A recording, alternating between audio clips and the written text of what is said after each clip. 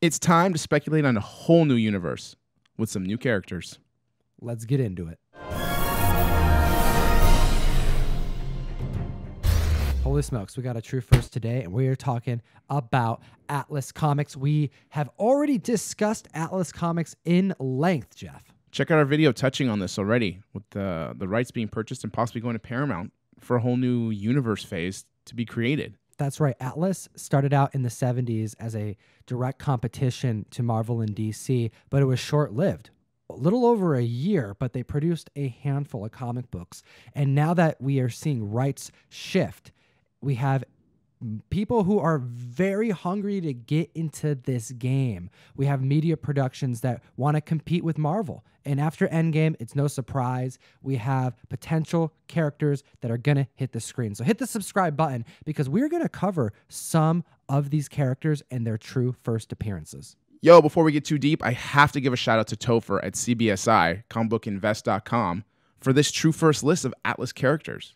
That's right. We got a lot of members in the community tagging us, letting us know that they're finding Atlas in dollar bins across the country. These books are out there. Some of them are worth money, others are attainable. Let's take a look at this awesome list because we have some characters that are a little bit more of a chance to go to the big screen. I think the odds are a bit better than some, and it's because of what happened in 2010. We dove in. We, we did some research. We read some titles. I read probably about five or six different titles here of Atlas just to really get into it. I read the 70s and I read one or two of the relaunch in 2010 that they had.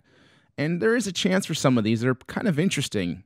So I do think there's always hope. So we'll just see what, what happens here hope's a good word because part of us dissecting what happened in the 70s made us look at what comics came out in 2010 when we saw a revised version of the characters for another really short lived time.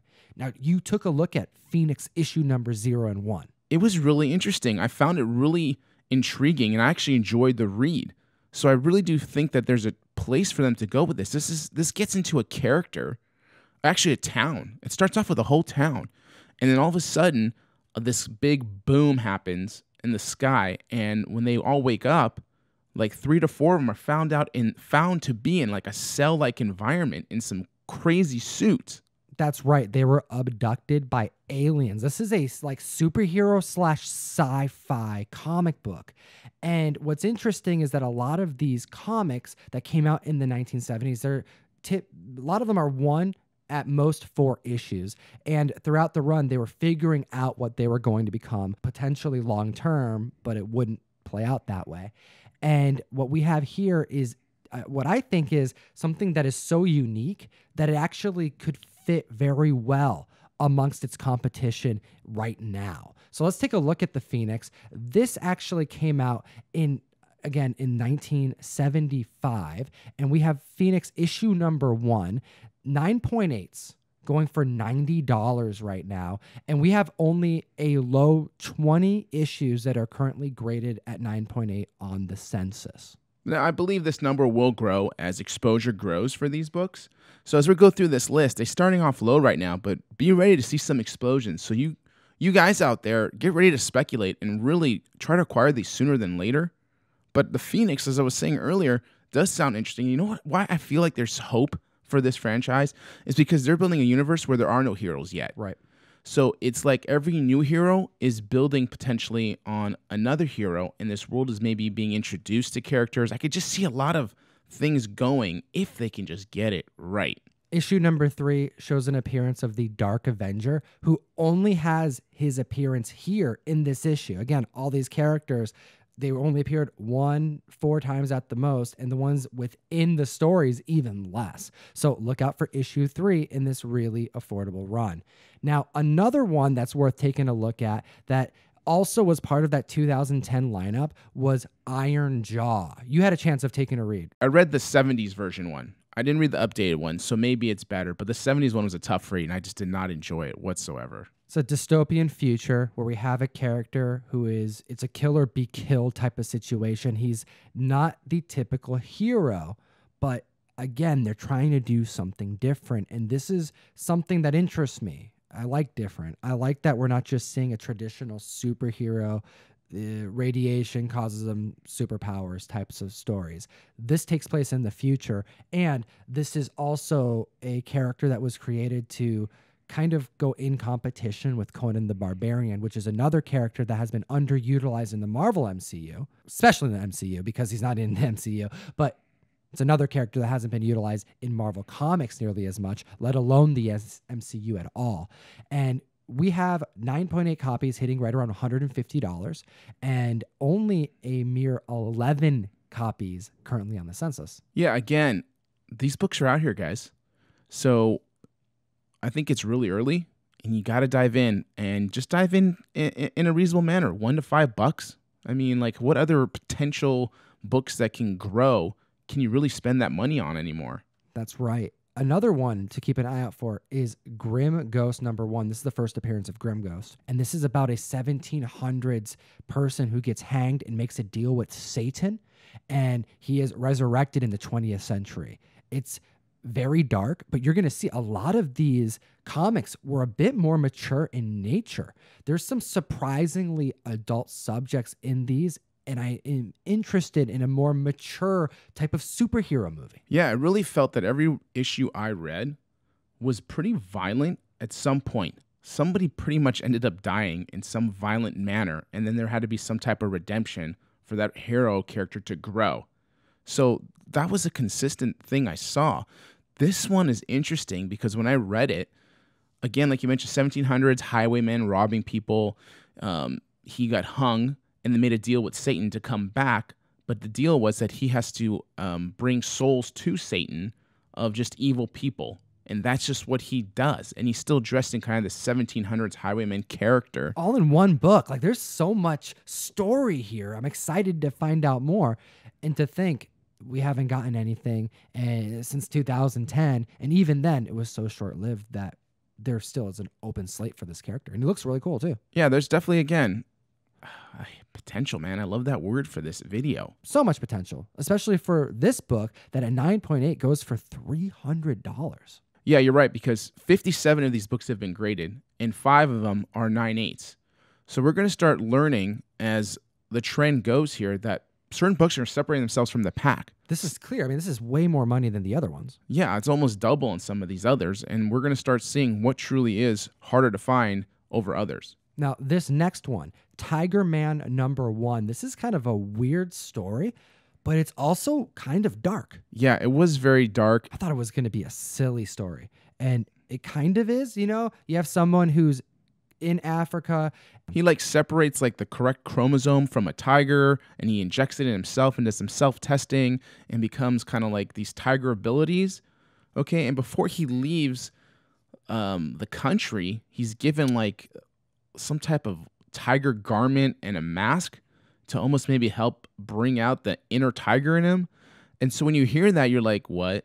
Yeah, what's going on here? But as you read on the story, you're like, you know, he's pulling it off. Now, can it be portrayed on a screen properly without being like overly animated or silly?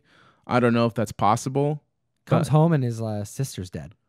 Man, his sister was murdered. Murdered. Again, it's these are all pretty dark and violent. It feels like for the most part. That's why I mention it. And what's interesting is Tiger Man number one. This is definitely a more attainable book, but it's pretty cheap.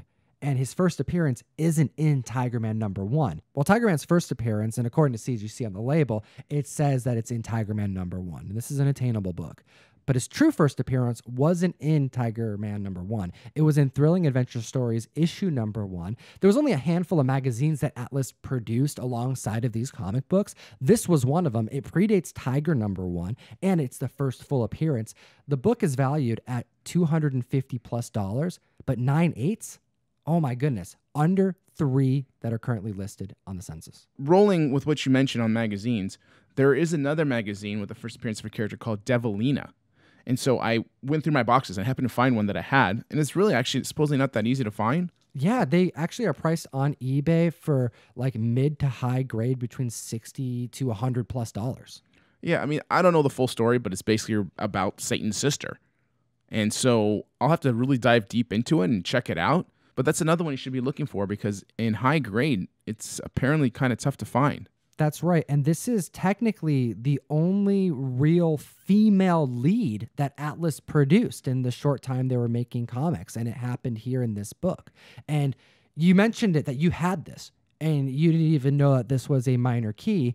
It's worth money. There aren't a whole lot of sales online, but it's these kind of books that are out there and you got to familiarize yourself with them because this is a magazine. Yeah, and let's put something into perspective. When we say tough, it's all going to be relative to the issues that are in that publisher's line in, in, relation to other books too. So when we say tough, we're not talking like golden age 10 copies out there. Okay, this is all relative to 70s and 80s publication sizes. So an existence of them surviving how they were stored. Yeah, this is prime for hunting. It's tough because they're still in boxes that no one knows about.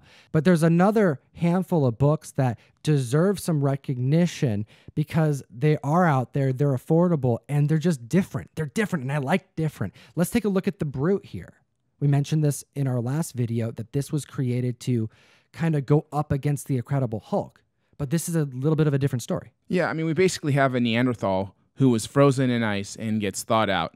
And that's basically the beginning of this character's story and his birth. It's a little silly, but it could be fun. Yeah, and again, it's up for interpretation, and that was in the 70s version, and they can always update any of these. That's right. I mean, 42 copies have been graded, a mere eight that are listed at 9.8, and we're seeing a fair market market value of $120 for this book. Another book that's worth mentioning is The Scorpion. This one has some big names attached to it. Yeah, I mean, it had uh, Chaykin as the artist in the first two issues, and they went one direction with this character. And supposedly people really enjoyed that, but unfortunately, that information didn't get back to the publishers in time before they decided to switch it to some other superhero standard looking character. That's right. By issue three, this character would look completely different. It would go from a more sci fi mystery type of book to a superhero book really quick and then it would just cease being made. But the Scorpion, issues one and two, there was a strong fandom that was emerging. And I think, had they waited on feedback, this would have been probably their frontline character. Absolutely, because this character would have had some success as he was revived again in a different publisher by Chaykin. And it was a long run called American Flagg because it was had a huge resemblance with him. I agree. And we have one more comic book that we have to mention because if you're on the hunt, this one is one of those finds that you're going to be super excited about because it stands out and no one knows about it. We have the very, very low printed copy of Vicki number four. Wait, what? Vicki number four, what's that? Well, Vicki was reprinted comic books from the past. Yeah, they reprinted issues of Tippy Teen from Tower Comics. So this is issue four, and this was already a failing publisher. So issue four is the last issue. So I can't imagine they were trying to push out a larger print run than number one. Plus, being teen humor and for that type of audience, it probably got tossed out. That's right. Not a whole lot of people looking for it. But if you find this issue, you're going to be so surprised to see that it gets priced online for 50 bucks starting and high grades of these issues with Atlas coming back on the scene right now, who knows where a book like this can end up? Comic fam, you are going to have to hit that subscribe and like button because we are going to start with some Ditko and his tie in to Atlas. Oh, that's right. We got more videos to discuss. This Atlas well is pretty deep. And when we're bringing Ditko in the mix, you know you're going to want to be around. So thank you so much to comicbookinvest.com, CBSI, Topher, the awesome journalist, writer, volunteer who puts together such awesome content every week for the comic book community. We do appreciate your time. And as always, geek responsibly. Enough said. Thanks so much for watching the video. We are currently taking enrollment for the June mystery mail call. Last month was a banger. This month, it is crazy. Everything's on fire. My house is burning down. Hit the link in the bio to join the community.